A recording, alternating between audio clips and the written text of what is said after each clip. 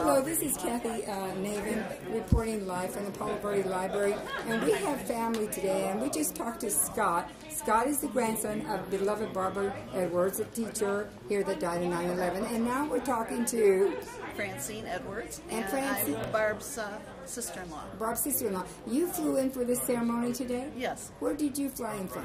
uh, from Grand Rapids, Michigan to Chicago to here. Okay, and so you knew Barbara well. Uh, can you tell her uh, she's a beloved teacher here that died, but you loved her as a family member? Yes, we were very close. Um, we're, she was more like my sister. Oh. We kind of lived in a world of men. She had boys, I had boys. We married brothers, and uh, we we cared for each other a lot. It was more a sister than sister-in-law. She really had no other sister-in-law, so I was it. It was it. and uh, and uh, she was it for me. Well, you look uh, pretty young, so. Oh well, I, I'm not, but thank you.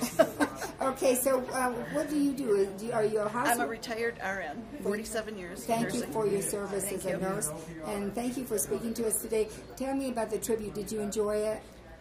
It was so fitting, and I've told other people that when you lose a loved one, uh, I know this circumstance was extraordinary and, and painful for the for the country and for the world. But when you lose someone that you love and you miss them, uh, it's comforting to come to a place where hundreds of other people miss her too. Absolutely. And she's not just one of the people that perished on that day. She's someone that's remembered and will always be remembered, and that's comforting to the family. Yes, because her loss impacted the world Yes. because she was a teacher. There was a lot of teachers lost, but uh, in this school, they the ROTC has remembered her in a ceremony every year.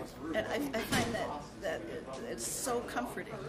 And even though we've been far away, we would get the uh, newspaper writings, and her, her father really, uh, he, he- just passed away this past year in. February.